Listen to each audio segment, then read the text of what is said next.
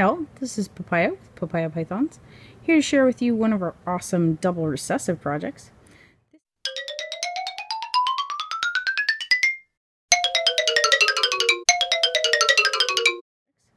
This guy is named John because he is a VPI Snow, so his name is John Snow. He is both albino and VPI axanthic.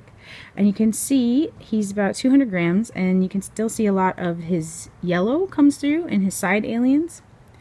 Actually, if we get a nice close up there, he has a lot of pattern in there, but otherwise, he is fairly patternless. He has no dorsal color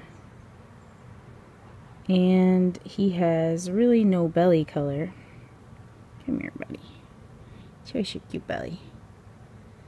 And so you see a lot more of his blood vessels showing through. He almost looks purple or pink. And of course he has the classic albino eyes. And he also has more red nostrils and heat pits because you can see more of the vasculature showing through his skin since he has no pigment. We think he's super cool. We're excited to continue to watch him grow and change.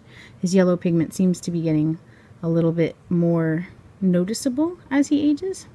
But it's also hard to tell just because there's more of him to look at now. So we'll keep you posted with videos like this and pictures. So follow us, subscribe, stay on top of all of the latest news. Thanks all.